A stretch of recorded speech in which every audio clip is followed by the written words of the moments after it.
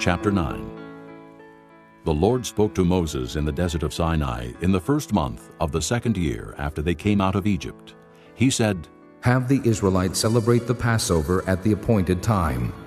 Celebrate it at the appointed time, at twilight on the fourteenth day of this month, in accordance with all its rules and regulations. So Moses told the Israelites to celebrate the Passover, and they did so in the desert of Sinai at twilight on the fourteenth day of the first month. The Israelites did everything just as the Lord commanded Moses.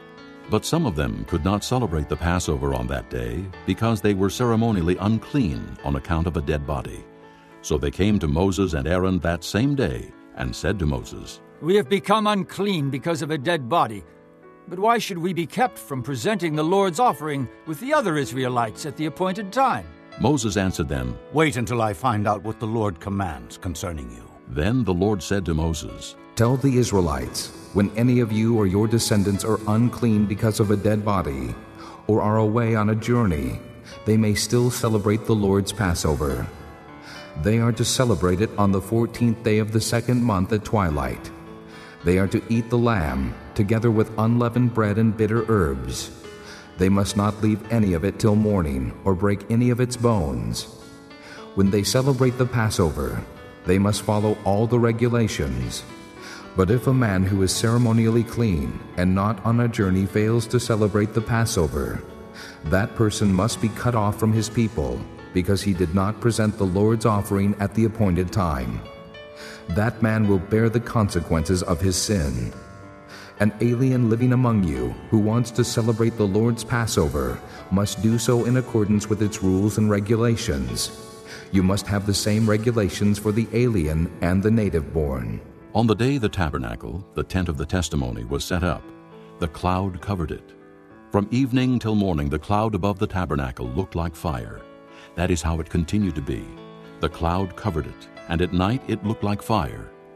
Whenever the cloud lifted from above the tent, the Israelites set out. Wherever the cloud settled, the Israelites encamped. At the Lord's command, the Israelites set out, and at his command they encamped. As long as the cloud stayed over the tabernacle, they remained in camp. When the cloud remained over the tabernacle a long time, the Israelites obeyed the Lord's order and did not set out. Sometimes the cloud was over the tabernacle only a few days. At the Lord's command, they would encamp, and then at his command they would set out. Sometimes the cloud stayed only from evening till morning, and when it lifted in the morning, they set out. Whether by day or by night, whenever the cloud lifted, they set out. Whether the cloud stayed over the tabernacle for two days, or a month, or a year, the Israelites would remain in camp and not set out. But when it lifted, they would set out.